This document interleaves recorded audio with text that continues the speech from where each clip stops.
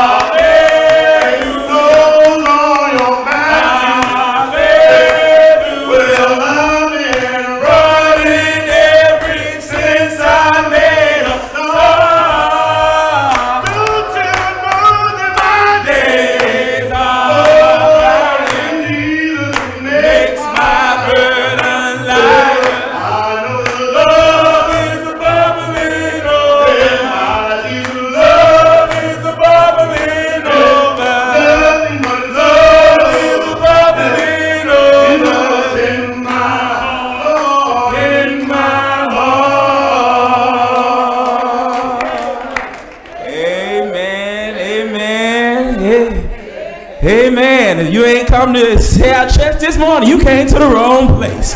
You came to the wrong place. That's where we get. That's where we get to a place to where we don't quench the Spirit of God, where we allow the Spirit of God to have free course. It ain't about us having our way, it's about letting God have His way. And when you let God have His way, doors will get open, ways will get made. When you let God have His way in your life, get yourself out of the way and let God have His way in your life. God is good. God is good. God is good. God is good. Amen. We want to thank all of you that are here this morning. God bless you. Thank all of you that are watching us this morning via live stream. We pray that you are being blessed by the things that are going on here this morning. I tell you, God is good. It is not just good some of the time, but He's good all of the time. And if you are have experienced the miracle working power of Jesus in your life, then you ought to be ready to tell somebody about what the Lord has done for you. Because if He did it for you, I know He can do it for somebody else. Amen. Amen. If you would this morning, I'm, I'm excited. I'm excited this morning. I'm excited because God is good. Numbers chapter 11. Numbers chapter 11, beginning at verse number 11 and concluding at verse number 17. The grass withers and the flower thereof shall fade away, but the word of God shall stand forever. Numbers chapter 11, verses 11 through 17 and then right after that, because since we are a New Testament church, I just thought I need a New Testament scripture to clarify what I'm saying from the Old Testament, okay? So so after we read that, then we're going to run over to talk with Paul in First Corinthians chapter 10 and verse number 13. Amen. Numbers chapter 11, beginning at verse number 11. If you there, say I'm waiting, preacher. All right. Somebody somebody ain't say. So somebody somebody still journeying, all right? All right, all right. Numbers chapter 11, beginning at verse number 11. The Bible reads like this So Moses asked the Lord, Why have you brought such trouble on your servant? Why are you angry with me? And why do you burden me with all these people? Did I conceive all these people? Are these all my children?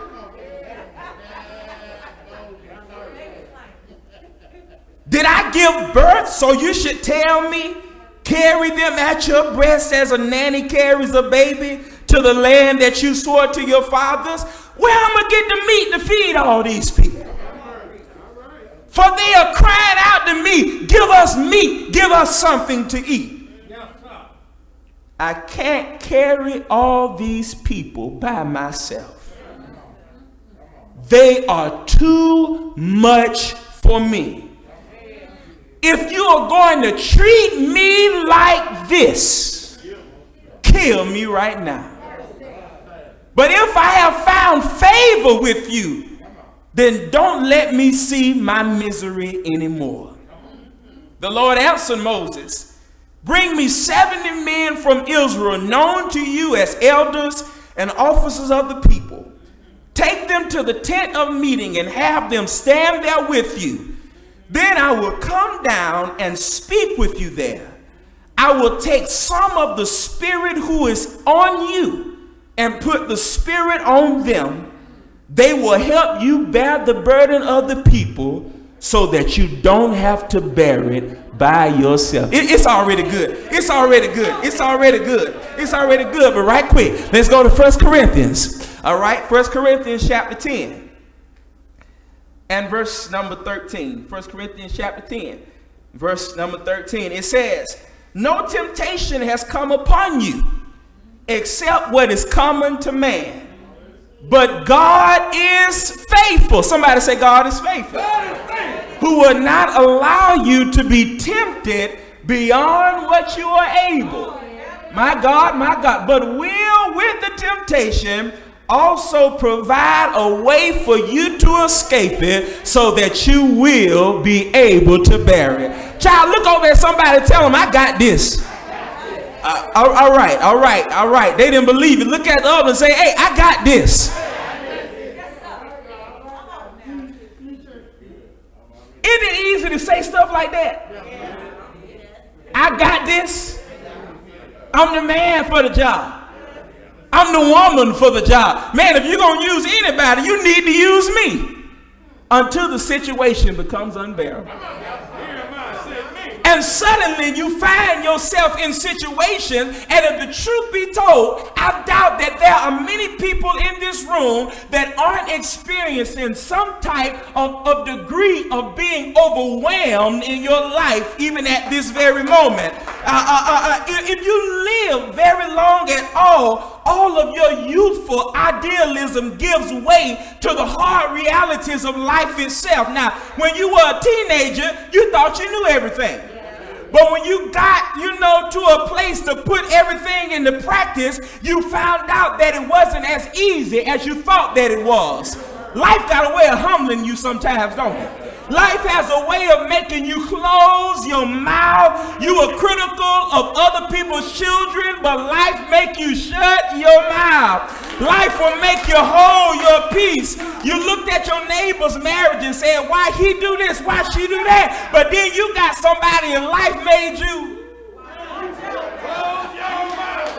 Because if you live long enough, you will go through a period of feeling so overwhelmed that you say, man, if I just get one more call, if I just get one more text, if one more person bother me, I'm going to lose my mind up in here. Up in here. Before you can get off one phone call, somebody else is calling you. Before you can get through with one text, somebody else is texting you. You get off of here, you gotta check your email. Somebody's here, the doorbell ringing. Man, when is somebody just gonna give me some peace? There are moments in your life that you feel overwhelmed by life, by people, by your own issues, by your own circumstances by demands of life, by the struggles that you go through in life, and yes, by the temptations that you face in life. It reminds me very much of if you ever watch a movie and it got a fight scene. If you watch the fight scenes in the movies, it is five guys all beating up on one guy. And, and it's interesting how they all come one at a time. In the movies, you can do karate if they come one at a time. But if 10 come at one time, man, you ain't got but two feet and you ain't got but two hands. I mean, what you gonna do with all those people come? What you gonna do with the other eight all coming at one time? And sometimes we like to think that life comes to us in courses, but it does not. In reality, sometimes you got 10 issues and they all hit you the same weekend. And, and, it's not long before you feel overwhelmed. Somebody just say to yourself, I can't take it no more. There are moments like that, that that into your hearts and into your spirits, and this is what the text is talking about. It is coming to the church at Corinth, and yes, it is talking about morality, and yes, it is challenging sin, and yes, it is challenging the issues that are prevailing against this church who has converted to Christianity from a hedonistic background, from promiscuities, from lust, and from self-indulgences, and now they're trying to walk circumspectly before God. Walking before God circumspectly is not an easy thing. Now I'm going to lose some of y'all in this text because I know we are people who think that serving God sometimes is just coming to church that, that, that, that, they really continue to be who they were before, and it's just that they added another day of the week to their schedule when they got something to do. But if you really take living for Christ seriously and you have a consciousness of your morality and your responsibility, there's a certain amount of pressure because there's a constant war going on in you between what you're supposed to do and what you want to do, between how you're supposed to respond and how you're tempted to respond. Have you ever had somebody to say something to you and you just say, oh, good God Almighty. Woo! Jesus got you today for you. Uh, because you had to hold your peace. And you realize, hey man, that was time my life. I wouldn't have been so quick to hold my peace. Now see, see, see, see that, that, that silly grin on my face is combating all the things that are coming to my head. And there's an argument going on in my head of all the things that I could say back to you, that I used to say, that I would like to say, and yet the Holy Spirit is muzzling my mouth. The Holy Spirit is holding me down, and it's not without restraint because I want to. It's not without pressure. Because there's another part of me that says, oh man, if you just let me get out. You know, these people are trying to fit into something that does not feel like them. Because when you put on Christ, you can't feel like you and put on Christ at the same time. Because your nature and the nature of Christ are two totally different things. This was the city that was filled with debauchery, whoremongering, lust, and depravity. Orgies that they were a way of life. Incest was a normal thing. They were doing whatever they wanted to do, however they wanted to do it. And then they got to say they embraced the spirituality, the gifts of the Spirit, the working of the moving of the Spirit. But when it came down to morality that was associated with, it was not that appealing to them. And there was a struggle, and they thought that it wasn't fair to them. It's not fair. My, my, my course has already been set. My habits are already my course. I like what I like. I want to do what I want to do. It's not fair that you want me to change something. And Paul writes to them and says, There is no, somebody say no. no. There is no temptation, not one, not of any kind, not of any brand or name, style or brand, no, not anything there's no temptation taking you, but such is common to man. Then it says, God is faithful. That's the good part. Yeah. It didn't say we were faithful. But it said that God was faithful, who will not suffer you to be tempted above that which you are able. I didn't say he wouldn't suffer you to be tempted at your comfort. Didn't say that it wouldn't suffer you to be tempted above your convenience. It said that he would not suffer you to be tempted beyond that which ye are able, but will with the temptation also provide a way of escape that you may be able to bear it. He will always give you a way out, but you got to be able to bear it. The faithful God enters midstream into the text that we have right here. And the first thing that we learn about him is that he is faithful. But the second thing that we learn is that the faithful God knows your ability. The faithful God knows your ability, which brings us into an aspect of God that I think you think about today. God is your architect that he has designed you like an architect designs when he's constructing a building. You must understand that though the architect does not drive a bulldozer or pick up a hammer or a nail or lay a brick or a block, he builds the building with specs to determine what grade of concrete, what grade, what level of steel, what type of wood is going to go in the building. He designs that construct to determine how much weight it's going to be able to bear. Yes, you, you are a designer's original, designed by God, who has been your architect, designing your strength and your will and your personality and your tenacity, that you may be able to determine what you are going to bear. So when God says that you are able to bear it, it is not a word of encouragement. This is the word of the architect talking to his construction. And if he built you, he ought to be able to know what you are able to handle. That's why you're not going through what the lady behind you is going through. Because your test and your temptation is determined by how you are constructed. And God won't put more on her because you can't take what she can take and she can't take what you can take.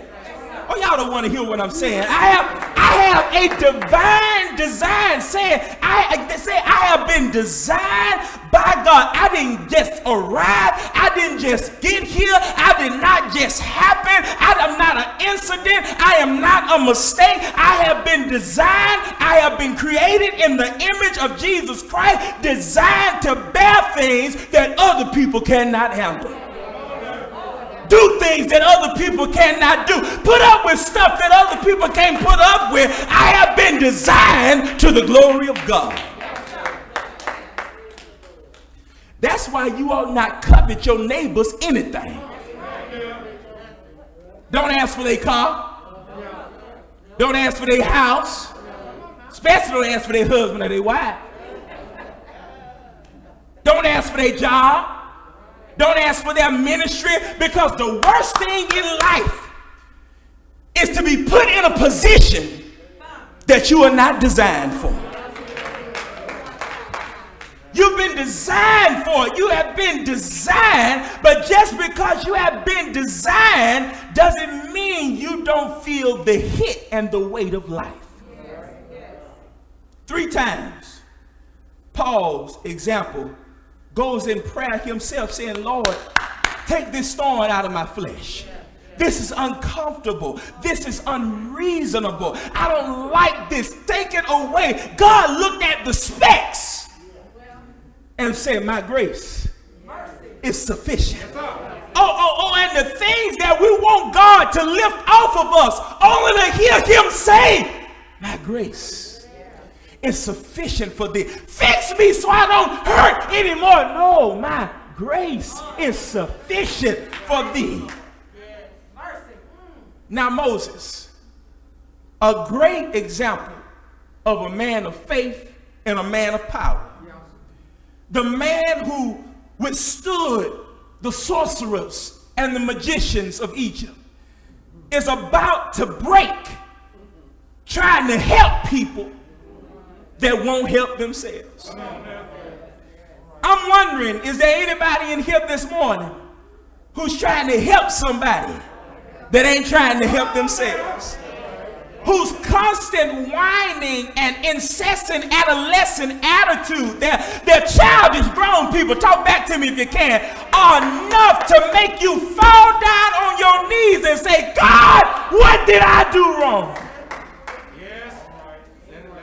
You look across from your desk to the person that say, God, what did I do wrong? Now, some of you roll over and say, look.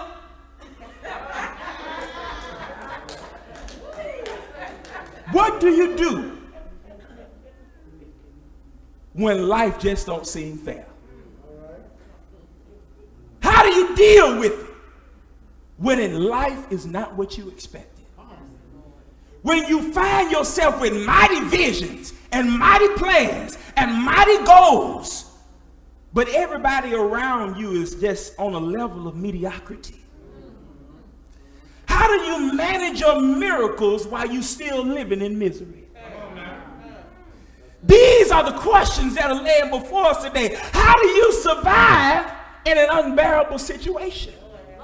What do you do when it is no longer fun to be you? For the rest of my life, I remember we were doing a study group on, on campus my last semester, and uh, uh, one of the guys, he asked a question. He said, Preacher, do you ever think I would get to a place in my life where I'd be happy? I remember that forever. He didn't say, You think I ever be saved? I'm, I'm a child of God, but will I ever be happy? He didn't say, do you ever think I get the job that I want, but do you ever think I'll be, be happy? Do you ever think I have the big house on the hill, the white picket fence? He didn't say that, but he said, do you ever think I'll be happy? You know, because you can have a job and still not be happy. You can have a spouse and still not be happy. You can have all the education that you want in the world and still not be happy. There are days that you can be really blessed and still be really burdened. There are people who have experienced miracle working power and still feel miserable. What did I do? Why can't I have the life that she has? Why can't I hit the lottery. God is over 700 million. I'm going to break you off. Why can't?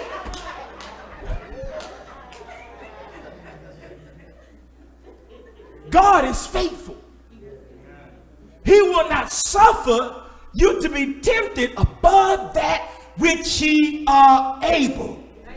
But will with the temptation also provide a way for you to escape. He didn't say run from it but for you to be able to, escape, that she may be able to bear. My question is, can you live with being yourself? Can you live with being you? Moses couldn't. He said, God in my life is going to be like this. Kill me. Let me die. I don't want to live. Moses, wait. You are the man of God. I mean, you the guy that part the water and stuff. And in your private prayer life, you want to die. Why do you want to die? Were you a fan of Pharaoh and his 600 chariots? Absolutely not. But the constant pulling of people who want more and more and more. Give us fish. We don't like this. Give us leeks and onions. We don't want this. Wait, where, where the manna at? I'm hungry. Where the water at? I'm hungry. I'm thirsty. It's cold out here. I want a bed. I want this. I want that. Does your phone ever ring like that? Do you ever get emails? Do you ever get texts like that? Can, can you just do something for yourself? I need to talk to you about my problem. I need to talk to you about mine too. When are you available? But you don't get to say that, do you? He says, in so many words, Moses says, God, it hurts being me. It, it, hurt, it hurts being me. What do you do when being you hurts? And God says to him, All right, set aside 70 elders that you know to be elders and bring them down, and I'm going to come down and talk to you. And he says, I'm going to take of your spirit and I'm going to put it in 70 elders. I'm going to teach you how to delegate some stuff.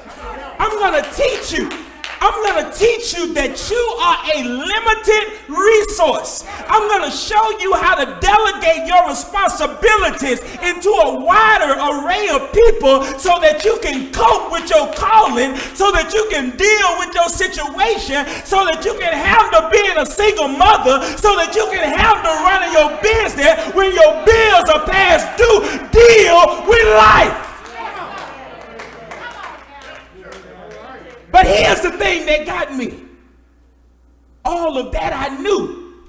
But then I looked at something. When God comes down to meet with the 70 elders, and the glory of the Lord moves down into the pain of being Moses, God does not bring his spirit to give to 70 elders. He takes of the spirit of Moses and gives it to the 70 elders. Look at Moses' capacity. Moses was a man strong enough that he could be divided among 70 men.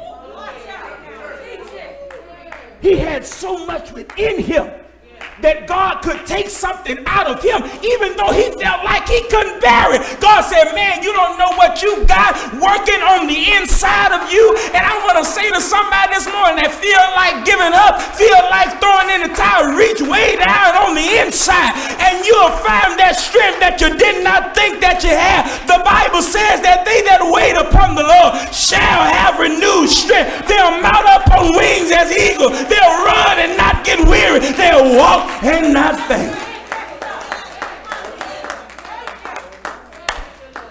He said, he said, he said, let me show you what's in you. You got enough in you that you can take what's in you and put it in somebody else. Y'all don't hear what I'm saying. Do you hear what I'm saying this morning? So, so God says, you've been stressing about not having enough, not being able to bear it. But you got all that you need already on the inside. You got everything that you need. Man, you thought that it was just a little bit of stick, and that stick has parted waters. You thought it was just a stick. That stick, you threw it on the ground. It became a snake. Picked it back up. It became a rod again. You are the man that do you did not have any power. You yourself came from the slaves of Egypt. Yet I told you to speak to the rock. And when you spoke to the rock, water came out that was able to quench the thirst of my people. Everything that you need, Moses, is already on the inside of you. So he says, he says, he says, what you have, what you need, is already on the inside of you. And you got to realize when you start talking stuff like this, the devil get upset. He get mad. He don't, he don't like this kind of talk. See, as long as you walking around here, I can't handle it. I want to die. I'm about to lose my mind. The devil is happy. Him and his minions, they happy. But when you start saying, I can do all things through Christ. That gives me the strength. Hell get nervous. Demons start trip. The devil gets upset. Storms come. Winds blow. Lightning flashes. Things aren't fair. Things are upsetting. They're nerve wracking. But the very fact that he allowed it to happen, seeing that he is the architect, it is a sign that he has looked at the specs of your life. He knows what he put on the inside of you. He knows that his grace is sufficient enough to get you to the other side. And somebody need to realize realize what you got on the inside. Some of y'all know you've been through some stuff in your life. It, that if anybody would have told you that you would have had to deal with it, you would have said, man, ain't no way I can handle that. Ain't no way. Ain't no way I I lose my mind. But you realize that after you went through the situation, that the same God that was with you during the situation has walked with you every step of the way after you got on the other side. And strength that you didn't even know you had is now coming up out of you. Faith that you did not even know you had is coming up out of you because you're walking with the Master. Yes, Moses, Moses said, you know what? If it's going to be like this, kill me. I'm tired of my misery. I'm, I'm, I'm tired of dealing with this. And Moses wasn't necessarily fed up with something that he had done. Moses was fed up with all them niggas out there walking with him. Moses was tired. You know, you know, Moses was tired.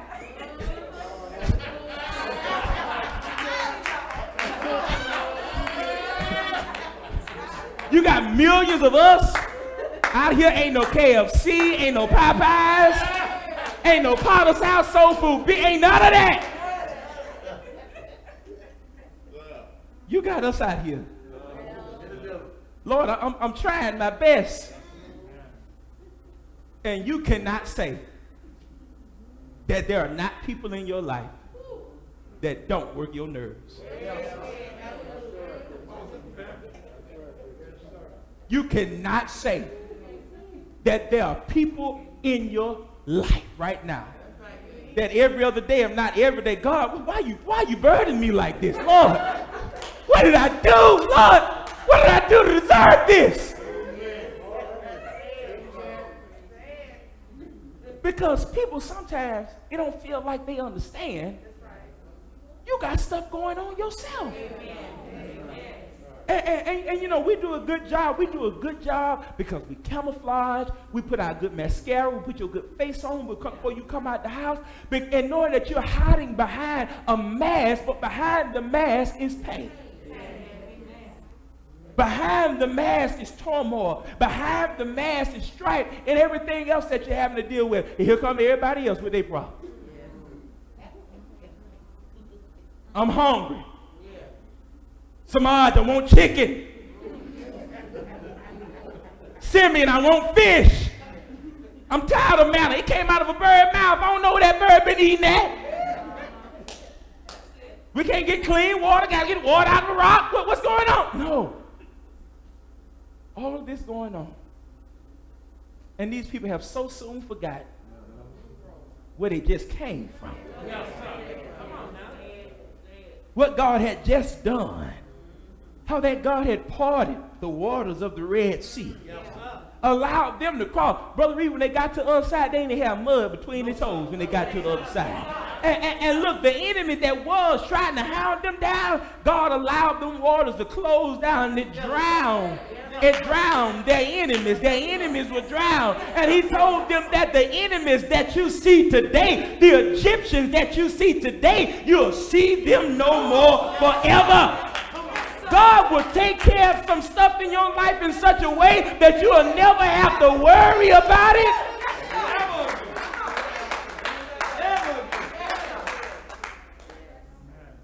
But be real with yourself this morning. You've been Moses before. Yes, sir. Come on now. You've been Moses before. You have reached a point in your life where you say, God, this is too much for me. I can't do it. Why? And it feels like, Lord, I just got through fighting this fight. Now here comes something else. I cannot do it. But God says, yes, you can. Yes, you can. You got to, first of all, realize life and death is in the power of the tongue. Stop saying what I can't do what I'm not able to do, what I don't have. I might not have it right now, but it's on the way. It's in it's coming from somewhere. It's on the way. You must not realize that my father is rich in houses and land. The silver and the gold, the cattle on a thousand hills belong to my God. And if I would but go down to him in prayer, whatever I ask, he'll give it to me.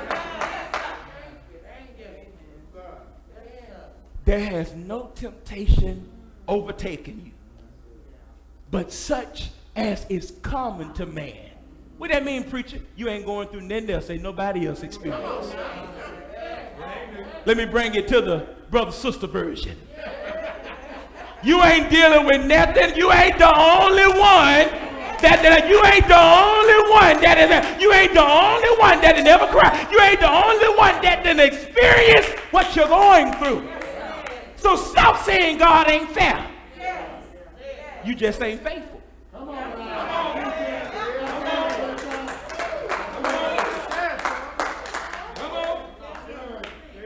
There has no temptation overtaken you, but such as is common to man. God is your architecture. He built you all throughout your life. Do you realize that every storm that you ever went through was a part of your construction? Every battle that you ever went through, it was a part of your construction process. Every sleepless night that you ever had, it was a part of the construction process. So since he's the constructor, and since he's been working on me, he may not have been the one that put hammer to nail. He may not have been the one that put down any concrete, laid any bricks, but he knows my specifics. Yes. He knows what I am able to handle. Yes. He knows my limit. So if I'm going through it, I got this. I got it. I got it. It may seem unbearable. I'm not going to say it doesn't. We, we just talked about Moses. Moses got to a point, Lord, he, he said it. It's too much for me to bear. But the song said, I must tell Jesus all of my trials. I cannot bear these burdens alone. In my despair, he kindly will help me. Jesus can help me. Jesus. Jesus alone stop trying to depend on yourself. Stop trying to depend on the strength that you have to be able to deal with life because you can't do it. Moses said, You know what, Lord? It's just one me and all these people.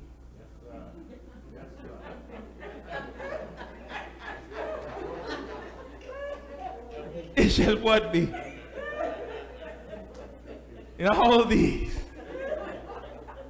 walking with me. Lord, I need help. I need some assistance. I said, go ahead and pick you seven, seven elders. You look at that thing. I, I ain't even gonna tell you who to get. You go out and pick. You the man of God. You ought to know who worthy. You go out, go out, go out, go out and pick 70 and bring them back to me. God said, I'm gonna come down and talk to you.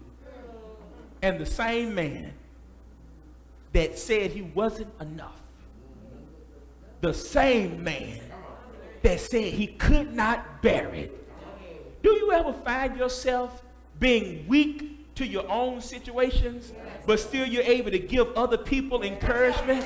You're able to strengthen other people. Man, I wish I could give this advice to myself. Man, I wish I could build myself up like this. But sometimes what you can't do for yourself, you can do for somebody else. So, so, so, Mo, so Mo, Moses, he said, Moses, he said, Moses, go out and pick your 70 men and bring them, and bring them in. God said, you know, I'm going to teach you how to how to regulate and delegate some stuff. Show you something. I'm going to teach you how to set some things in order. Yes. And God did not take of his spirit. I would have understood that. You know, God, I, I would have understood. I would have, I, I, he didn't bring his spirit. But he took out of the spirit of Moses and put it in seven different men. And they were able to help him in the things that he needed to do. Stop trying to do everything by yourself. Stop trying to carry your house by yourself and, and you, you don't live by yourself. Come on now. Come on now. Stop trying to carry, even on your job. Stop trying to do all the work. Stop letting folks be lazy and make you do everything. You make them accountable. Oh, they just know you so nice. That sister and brother so and so. Oh, I, know if they see that I ain't did something, they gonna come behind me and they gonna be, man, we get paid the same amount to do the same job. Unless you gonna give me your check, you need to do your job. Learn how to regulate. Yes. Learn how to delegate some things. Learn how to pass some things on. Because when you try to take on the world by yourself, you get weighed down. Yes, when you try to take on so much stuff by yourself, and see, especially in a worldly sense, when you take on so much stuff and you get battered down, then God's house takes a back seat. Because we taking care of the affairs of everything else, but we forget about God. Oh man, club open at 11, I'm there at 1030.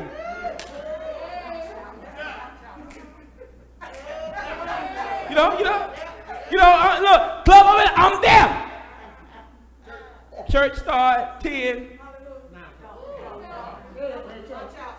Oh, y'all still have Bible study? Yes, we still have Bible study.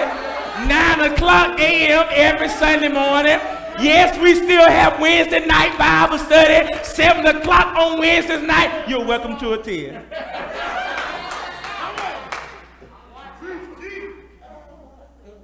I'm not able to bear it. I'm not able to do it. I cannot succeed. I cannot achieve it. You got this. You got it. Because of what's already in you.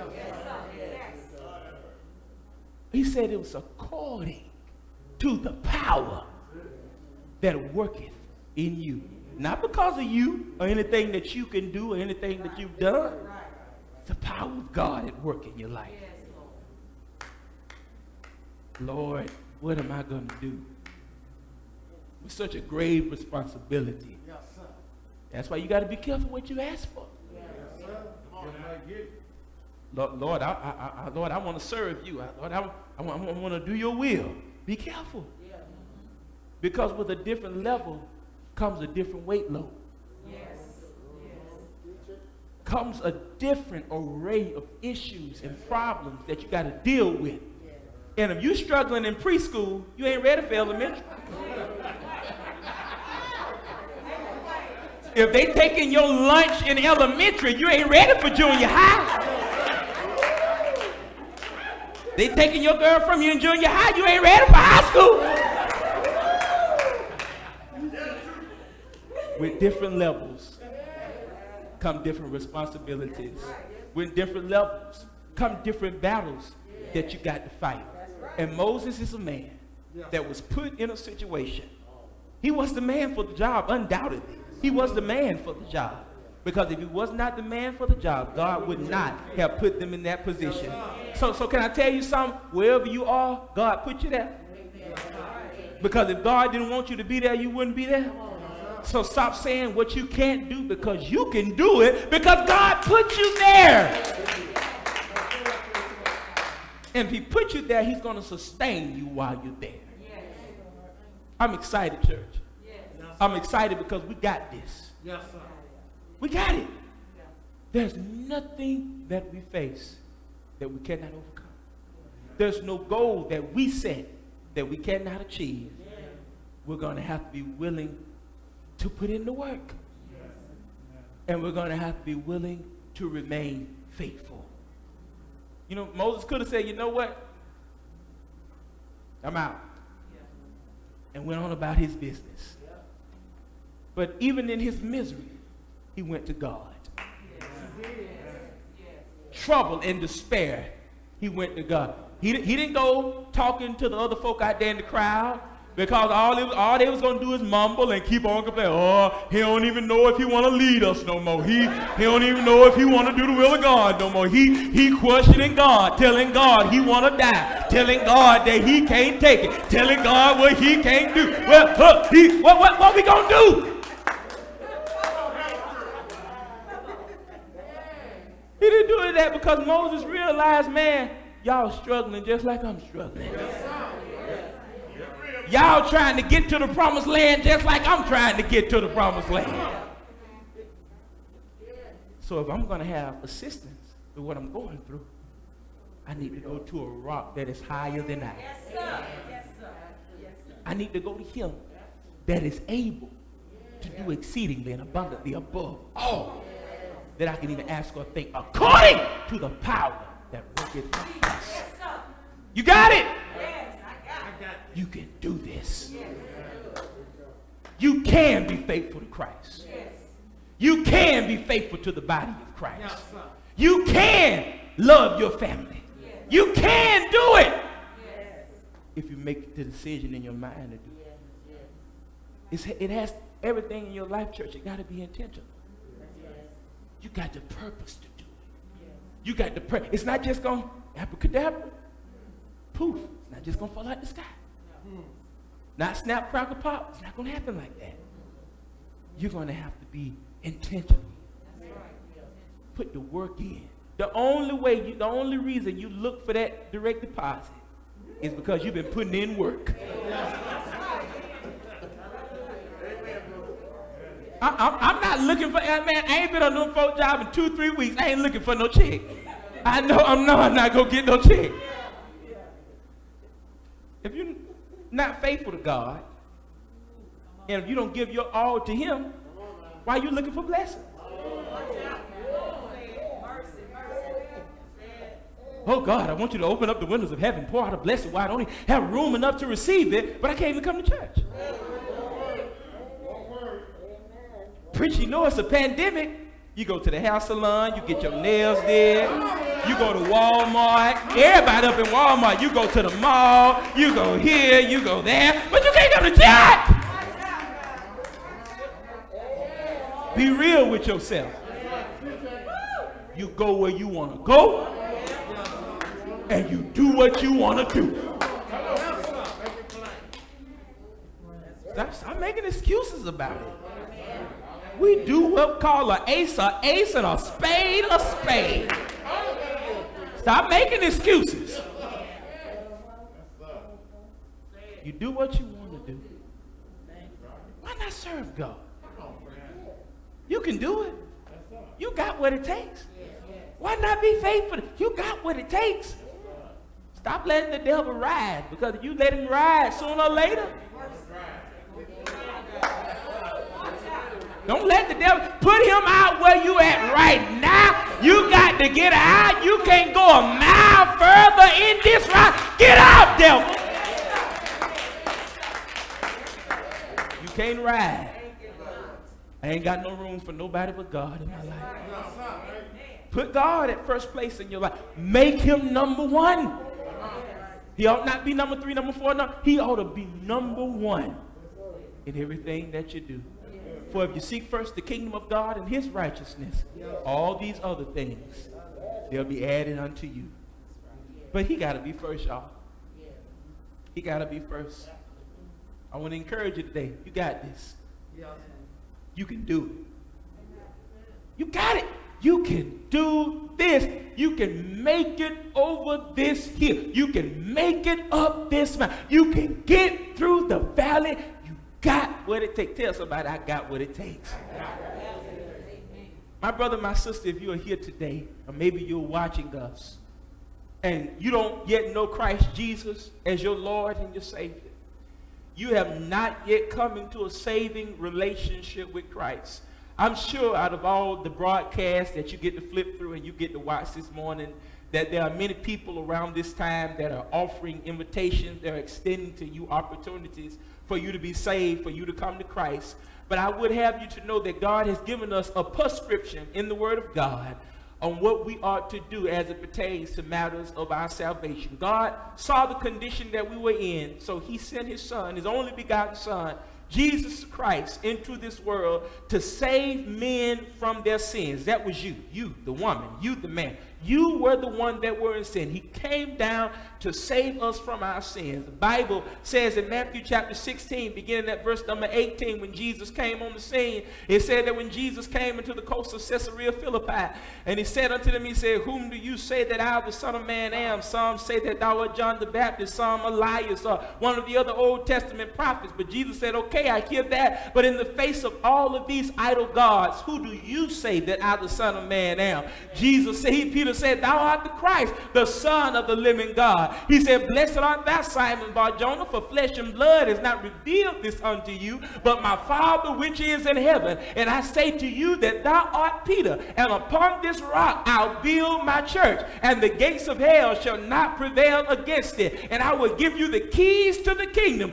Gave him a set of keys that he used on the day of Pentecost in Acts chapter 2. The Bible says they were gathered together. There are men from all nations. There were Parthians, there were Medes, there were Elamites, there were dwellers in Cappadocia and Asia Asia, they were gathered together, and there came a sound as of a mighty rushing wind that filled the place where they were sitting. And it sat upon them cloven tongues likened unto fire. This was what Joel had just prophesied about in Joel chapter 2, where Joel said, In the last days I pour out my spirit upon all flesh, and your sons and your daughters shall prophesy, your old men shall dream dreams and see vision. And, and, and after Peter on that day had preached the word of God, they were pricked in their heart, and they said, Men and brethren, what shall we do?